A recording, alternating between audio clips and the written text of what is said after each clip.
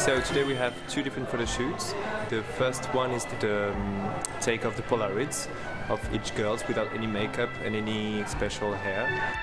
The idea is to see the girl in her natural ability in front of the camera. We're looking to see how photogenic she is. Look at me strong, don't, don't smile. Perfect. Hi, I'm from Estonia.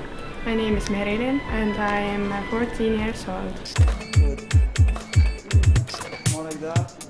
The second shoot is uh, more professional and uh, we're just going to see how the girl is uh, able to be photographed by a real professional photographer with a hairstylist, a makeup artist, the whole team. Uh, my name is Alex, I'm 14 years old and I'm from Portugal. The girls have been really good for now.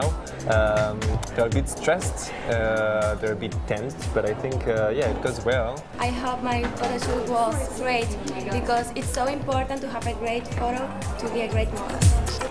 If I had to give tips to get good pictures, would be for the model just to be very focused on the lens. Then you should be change the postures and just move and be able to give different attitudes.